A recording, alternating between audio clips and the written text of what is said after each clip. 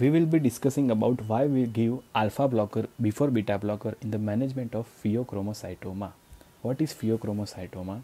It is a tumor of adrenal gland that secrete excessive adrenal hormones that causes headache, tachycardia, sweating and hypertension.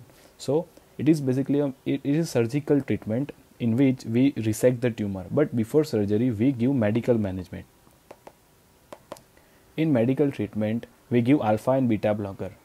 So if we give beta blocker prior to alpha blockers what happens there are the re two receptors alpha and beta receptor. Alpha receptor increases the peripheral vas vascular resistance and beta blocker increases the contractility and heart rate.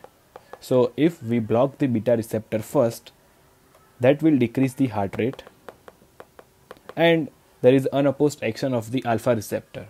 So heart has to pump more efficiently because there is a high resistance in the system. Because we have already blocked beta receptor, heart rate will be slow and that will not able to function properly and patient will be dying. So in this type of situation we have to give alpha blocker first then beta blocker.